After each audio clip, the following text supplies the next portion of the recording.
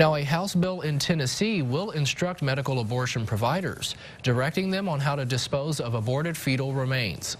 The bill says a woman has the right to determine how it's disposed, whether by cremation or burial. Also, the location for the final disposal. Medical providers must dispose of fetal remains from surgical abortion, plus cover the cost in the case a mother declines to choose. And the bill has caused commotion between lawmakers and the public. Pro-choice protesters say the bill is just more window dressing. Representative London Lamar says it's another attempt to legislate women do appreciate the sentiment. I know what lawmakers are trying to do when they pass a bill like this. But instead of passing a feel-good bill, pass a bill that abolishes abortion.